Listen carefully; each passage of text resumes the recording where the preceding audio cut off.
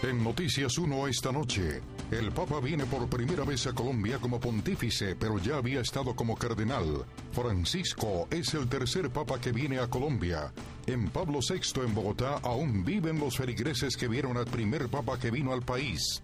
El vacío de autoridad que deja Carlos Gaviria hará más difícil la unión del Polo Democrático, un concejal uribista elegido por el Polo, el más reciente factor de división en ese partido. Directora administrativa de la Cámara dice que Procuraduría y Contraloría revisaron sus cuentas y no tienen reparos. La tractomula que acabó con 12 vidas en la carretera al llano tenía capacidad para cargar 18 toneladas y llevaba 36. En los deportes, choque verbal entre Juan Carlos Osorio y Eduardo Pimentel después de la victoria de Boyacá Chico al Nacional. Fue vulgar y, arrogante.